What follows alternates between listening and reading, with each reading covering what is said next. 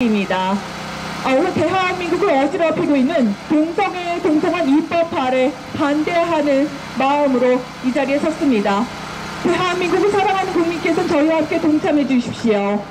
Ladies and gentlemen, here today, the Republic of Korea, we gathered. Also, we stand against homosexuality and same-sex marriage.